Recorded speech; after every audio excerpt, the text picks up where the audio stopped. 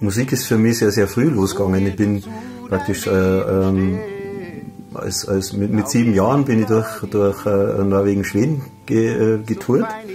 Und ähm, das war für mich sehr spannend. Also als Siebenjähriger natürlich, äh, ähm, damals war ich im Münchner Platzl, also um, um dieses äh, äh, Verständnis zu bekommen, das Münchner Platzl ist ja eine volkstümliche Bühne gewesen, damals von Ludwig Schmidt-Wildi und Weiß Viertel und so weiter aufgebaut.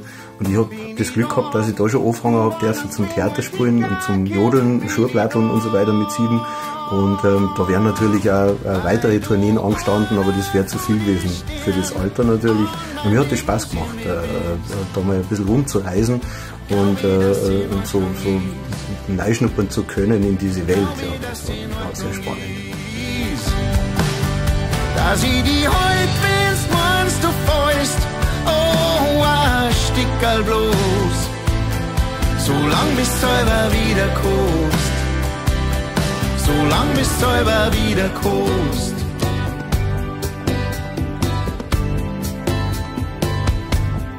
Zum ersten Mal Gitarre in den Händen hatte ich, da war ich 15, also dazu zu sagen, ich habe praktisch, äh, äh, ich wollte immer Gitarre spielen, aber meine Eltern wollten Zither, ähm, Akkordeon und so weiter, das, das, das, das war da im Vordergrund gestanden. Und dann, wie ich die Lehre angefangen habe, dann habe ich mir von meinem ersten Geld habe ich mir eine eigene Gitarre gekauft und seitdem spiele ich mit der Gitarre. Dass deine Träume, die du hast im Leben, in Erfüllung gehen. Und wann du die verrennst, bin ich da. Mit dem Gesang ging es los wie gesagt, seit, seit ich glaube, seitdem ich denken kann. Also ich bin wahrscheinlich rausgekommen und habe schon singen angefangen oder so.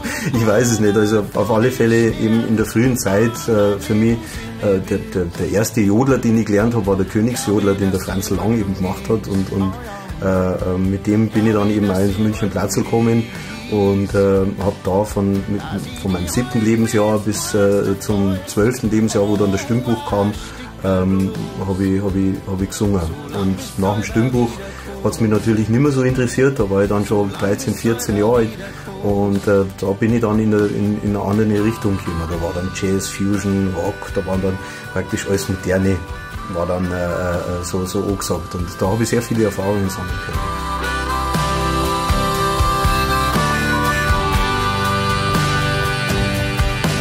Ja, weil du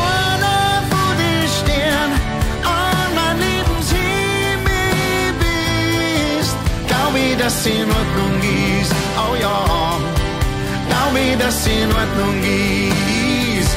Da sie die heut, da sie die heut, wenn's meinst du Die ersten eigenen Songideen, die kamen auch in der Jugend, da habe ich schon Lieder geschrieben. Weil das, was halt einem so auf der Seele liegt in der pubertären Phase irgendwie, das, das, das hat man halt da dann schon mal ein bisschen, bisschen äh, mit der Klampfen aus äh, austariert irgendwie und geschaut, was kommt da und so weiter, aber das war jetzt auch nichts Großartiges nicht. Aus dieser Zeit allerdings, muss ich sagen, ist unser äh, Reggae-Jodler, den haben wir live dabei jetzt immer noch, der ist aus dieser Zeit. Da, da war ich irgendwie am Blödeln und da ist dieser Reggae-Jodler entstanden, das war nicht lustig. In deine Augen spiegelt sie ein Welt, von der man nur Drama kann. Also aufgewachsen bin ich sehr vielseitig mit der Musik, äh, weil ich eben ähm, für vieles offen war. Also nicht nur das Bayerische, da, da sind meine Wurzeln, äh, sondern eben dann eben auch dies, diese, diese Jazz, Fusion, äh, Rock, äh, äh Funky Soul äh, Ecke, die, die damals sehr wichtig war für mich und, und wir auch verschiedene Bandprojekte gehabt haben, wo wir eben auch verschiedene Stilistiken gemacht haben. Das war sehr interessant. Ähm, hängen geblieben bin ich bei Curtis Mayfield. Das war äh, äh, und ist eigentlich immer nur ein sehr, sehr großes Vorbild von mir. Und äh, gesanglich El Jarreau war natürlich äh, zu, zu, meiner Zeit der, der, der Wahnsinn, also ein, ein, ein, ein, ein Voice-Künstler schlechthin und das hat mich fasziniert. Ähm, geprägt hat mich aber auch unter anderem, muss ich auch sagen, so Benny Ostler und die Werdenfelser Musikanten. Das war damals in der Zeit, wo ich im Platzl war, waren die ja, Stars am volkstümlichen oder bayerischen Himmel oder so mit Mundart äh, damals, das hat mir schon gefallen. Das, das, das, das hat auch Spuren hinterlassen, weil die haben unglaublich schöne Musik gemacht. Ähm, ähm, ja, so bin ich praktisch äh, dann wieder ins Bayerische zugekommen und mache halt jetzt bayerische Moderne mehr oder weniger und verbinde so die all diese Erfahrungen, die ich gemacht habe äh, in meiner Jugend und in der Zeit jetzt, äh, in der Musik machen habe, der ver verbinde ich das miteinander.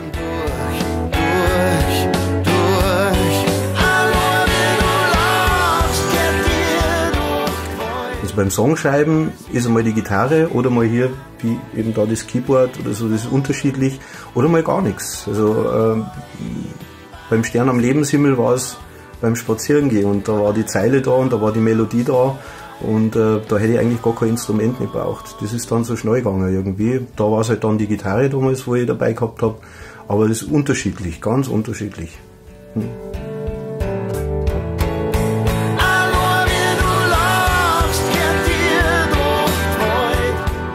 diese, dieser kreative Monat, den ich gemacht habe, damals 2005 im Bayerischen Wald auf der Hütte, das, das, das, das war ein Impuls, den, den, dem wollte ich nachgehen. Ich habe einfach das Gefühl gehabt, ich möchte mich mal ein bisschen rausziehen und möchte mal das kommen lassen äh, äh an, an, an, an Ideen und an Kreativität und, und was auch immer auch kommen will für mich selber. Ich habe da gar nicht drüber nachgedacht oder war gar nicht der, der Ursprungsgedanke, dorthin zu fahren und eine CD zu machen oder Lieder zu schreiben, die ich dann auf die Bühne bringen oder so, sondern wirklich nur mal eine Zeit für mich, eine richtige Auszeit für mich und das war's dann auch. Also das war eine sehr interessante Zeit. Das war das erste Mal, dass ich so lang von zu Hause weg war und dann noch, man macht's im Dezember natürlich, wo es schneit und du bist eingeschneit auf der Hütte und, und äh, ähm, das war eine sehr interessante Erfahrung. Ähm, da zähle ich heute noch davon, weil äh, das, das äh, unglaublich tief war. Gut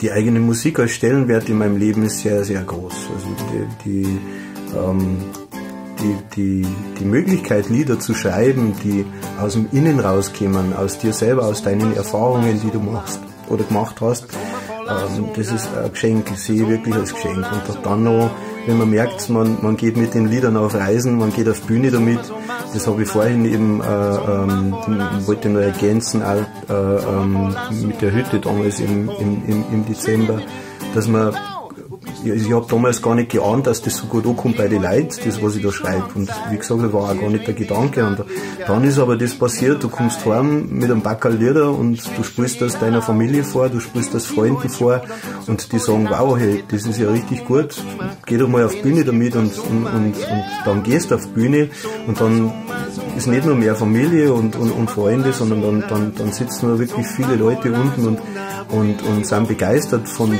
den Liedern, die du selber schreibst. Also das war für mich auch sehr äh, einschlägige Erfahrung und das hat mich unglaublich gefreut, weil ich, ich sehe das nicht als selbstverständlich und auch nicht als gegeben, sondern ich sehe es als Geschenk im Leben, wenn man sowas machen darf. Sommer, Sommer voller Sonne, der macht das Leben aus.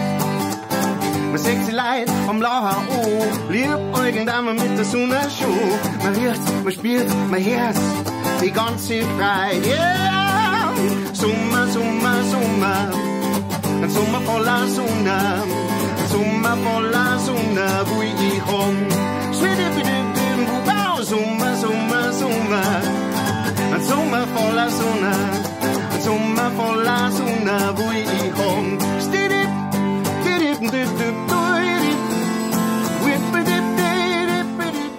Also die Abgeschiedenheit, die, die, die, die, brauche ich deshalb, weil ich, äh, wenn ich auf eine Hütte fahre, dann, dann, dann, dann ist der Tag der Ankunft ist ja mit sehr vielen äh, äh Beschäftigungen noch äh, ähm, äh, äh, zu tätigen. Also da, da, wird dann Studios, kleine Studio aufgebaut in der Hütten und, und das Equipment und äh, der, der, nächste Tag, da bereitet man sich dann vor, da schaut man sich die, die Umgebung ein bisschen an und ab dem dritten Tag meistens ist es so, dass man dann eintaucht. Eintaucht in die Stille, eintaucht äh, in die Umgebung und eintaucht praktisch in, in deine Erlebnisse. Weil die kommen dann so langsam. Irgendwo so das Erlebte aus der nahen Zeit und dann geht es auch wieder weiter zurück in, in, in das Erlebte aus der, aus der äh, längeren Vergangenheit. Und das, das sind dann so die Momente, wo halt dann eben so Zeilen kommen und, oder, oder, oder wo Melodien kommen oder, oder was auch immer irgendwie. Ja. Darum ist so wichtig, äh, dass, dass man diese, diese absolute Ruhe hat, diese Zeit.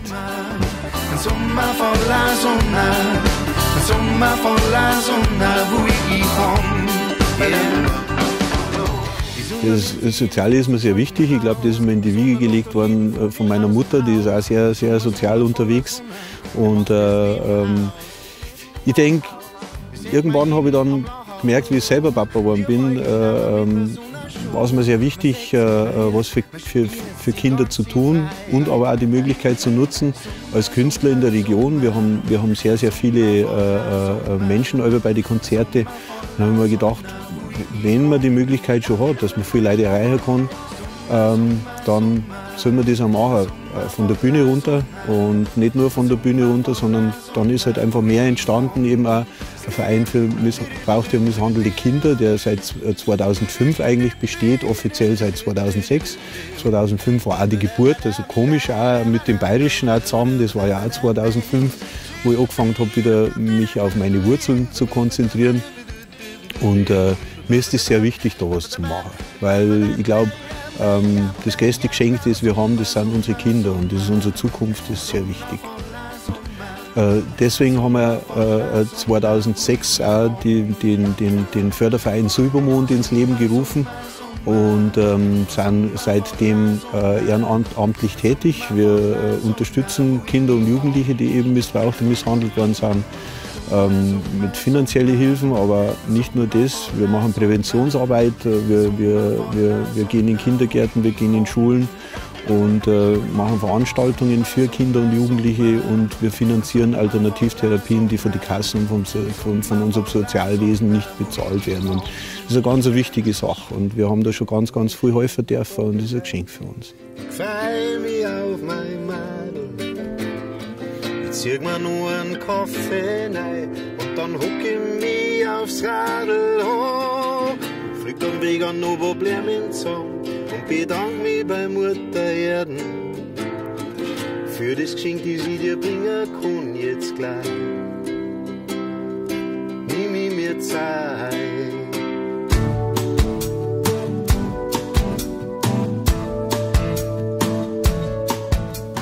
Ja virtuelle Welt äh, äh, ist, ist, ist, ist auch einer der Songs, die ich sehr wichtig finde. Auch wiederum äh, geschrieben, weil wir die Möglichkeiten haben, äh, von der Bühne ab äh, die, die Leute sehr, äh, sehr nah zu erwischen. Und das sind dann auch sehr tiefe Momente, die, die wir mit den Leuten da haben. Ähm, die virtuelle Welt, da geht es einfach äh, um die Thematik äh, Kinder, Jugendliche, Ballerspiele, Killerspiele und so weiter. Ähm, dass, dass wir als, als verantwortliche Erwachsene halt ein bisschen mehr schauen, was machen unsere Kids da, wie, wie, wie weit tauchen die da ein, dass, einfach, dass man mit ihnen redet, dass man ihnen Möglichkeiten äh, bietet, äh, einmal ein bisschen tiefer rein zum Schauen. Da gibt es eben auch, was wir auch wieder unterstützen, eben präventiv äh, äh, Leute, die sich da sehr, sehr gut auskennen aus dem deutschen Jugenddatenschutzverband, äh, die da, die da ähm, ja, also Seminare machen, äh, geben äh, die, die Jugend Gefahren im Internet. Das ist ganz eine wichtige Sache.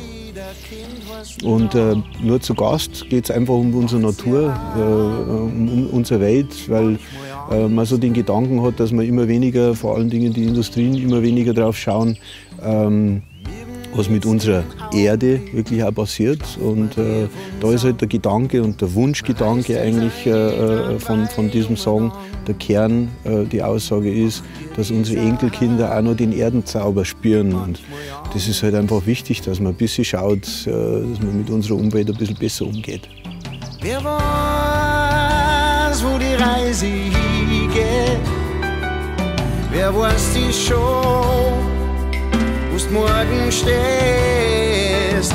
Die Antwort kennt dein Herz nur.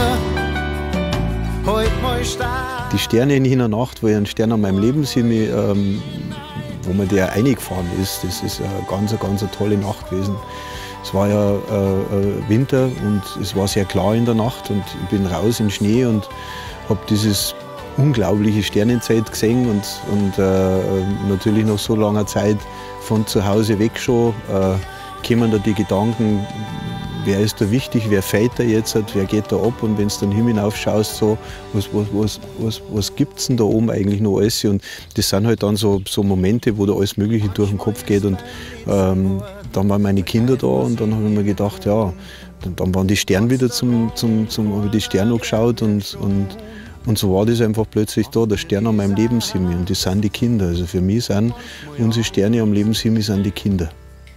Und so war die Zeile da und das, das war der Moment, wo ich es geschrieben habe. Manchmal kennt man die Grenzen nicht, da geht man einfach drüber. Merkt nicht, ja, das war eben in dieser Zeit, wo ich mich entschieden habe, 2005, dass ich Mundart wieder mache. Ähm, wobei ja, wie gesagt, ich, ich, ich habe ja gar nicht den Gedanken gehabt, dass ich jetzt was schreibe, das ich dann auf Bühne oder auf CD oder sonst irgendwas bringe, sondern ich wollte einfach mal in meiner Muttersprache, also in der bayerischen Sprache, wollte, wollte ich mich ausdrücken.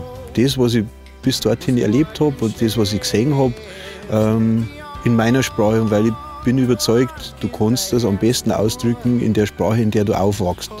Da wäre Englisch, da kann ich es noch so gut kennen, ich verstehe viel nicht, weil ich nicht dort lebe und weil ich nicht damit aufgewachsen bin und so weiter. Da hast du nie diese Tiefe, als wie wenn du jetzt in der Sprache, in der du wirklich groß wirst, äh, Musik machst. Und deswegen hat mich das einfach interessiert. Und so habe ich mich auf den Weg gemacht auf diese Hütte und habe dann eben diese Songs schreiben dürfen.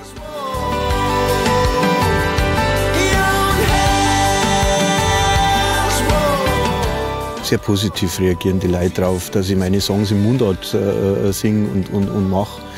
Ähm, weil sie ja viel auch verstehen im Bayerisch, also in Bayern, ja, und, und, und aber die bayerische Sprache, die, die, die ist weich. Also man sagt zwar, die Bayern sind oft irgendwie so kernig und, und, und, und, und aber die bayerische Sprache ist eine ganz eine weiche Sprache und du kannst das so schön transportieren.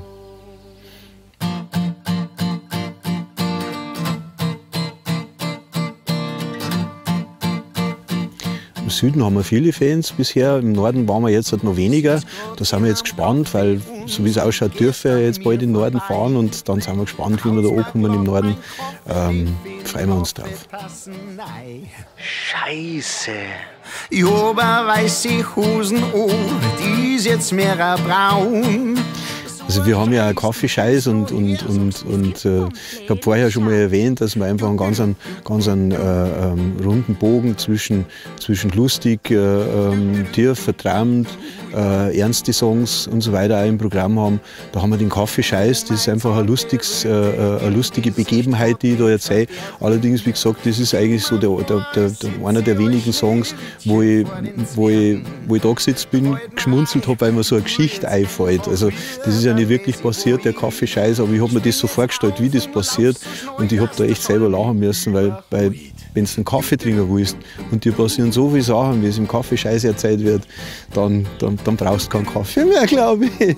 Ja, auf alle Fälle, ähm, diese, diese, äh, dieser Unterschied jetzt zwischen einem Kaffeescheiß und einem Heimkimmerjodler ist natürlich sehr groß, aber beide, äh, äh die, beide haben so eine Intensität an Erlebnissen. Heimkimmerjodler, das war der letzte Abend, den ich gehabt habe auf dieser Hütte, wo ich vier Wochen eben eingeschneit war und ähm, äh, da steckt so viel drin, so viel, so viel Sehnsucht nach daheim, so viel Wehmut, dass man jetzt nach dieser Zeit wieder, wieder, wieder heimfahren äh, äh muss, weil du gewohnst ja an das, irgendwie an diese Zeit, an, an, an die selber.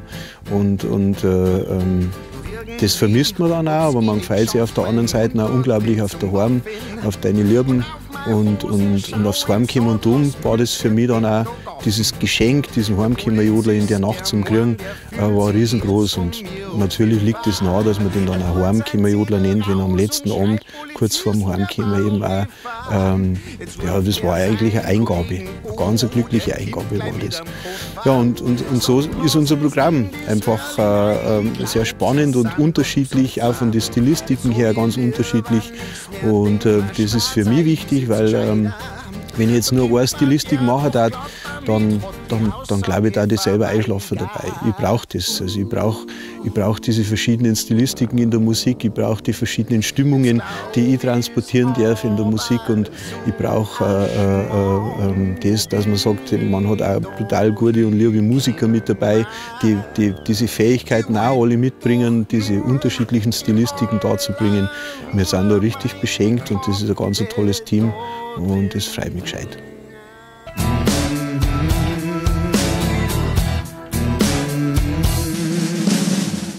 Ich bin mit MKM auf der Ja, Mensch drin, das war ein Gedanke, äh, der, der mir gekommen ist. Ähm, den ich gehabt habe, wo ich, wo ich so über die Lieder, die ich geschrieben habe, nachgedacht habe und dann war das plötzlich da. Das ist, äh, äh, da ist Mensch drin. Und so habe ich mir gedacht, nehmen wir die CD. Tanzen, das wir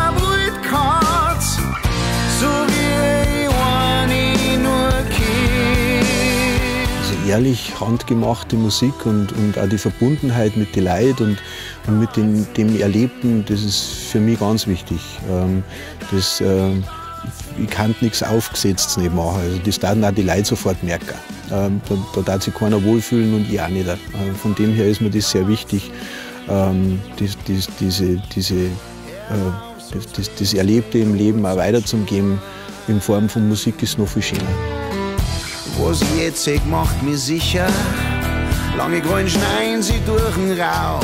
In meiner Freizeit, äh, ja, da mache ich am liebsten meine Mädels beim Reiten zuschauen. Das tue ich sehr, sehr gern, also wenn man mal richtig Zeit hat. Aber dann fahre ich auch gern mit dem Moped, also mit dem Motorrad und fahre da gerne im Berg rein. Und dann gehe ich auf die Hütten auf, sitze mir auf für einen Schau in die kleine Welt runter. Das ist einfach was Schönes. Das tut mir gut, das ist ein guter Ausgleich. Und ähm, ja, ich umgebe mich gerne mit unseren Pferden, mit unseren kleinen Mini-Shetties, die wir haben. Das ist meine Freizeit.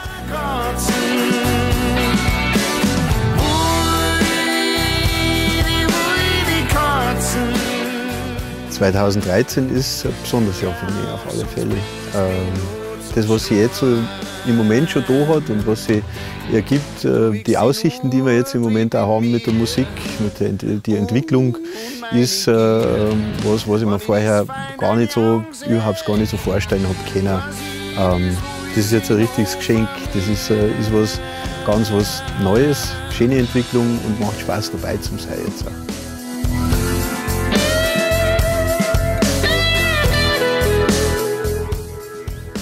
Also eines der großen Ziele ist, äh, wenn man so sagen kann, ist äh, der, der, der, der Zirkus Kronebau in München. Da möchten wir auf die Bühnen auf.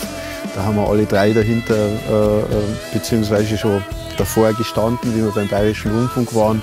Und dann haben wir den Zirkus Kronebau gesehen und dann haben wir gesagt, und da wollen wir rein.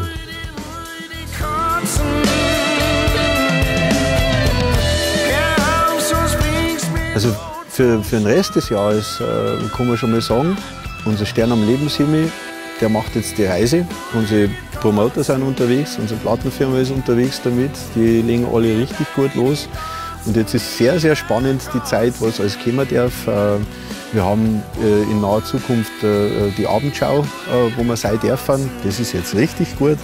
Dann äh, haben wir schon den ersten Auftritt im, im, Norden, weil wir ja schon vorher die Frage gehabt haben, äh, ob wir im Norden auch schon bekannt sind. Wir hoffen, dass wir da natürlich dann ein bisschen einen Schub bekommen, auch im Norden.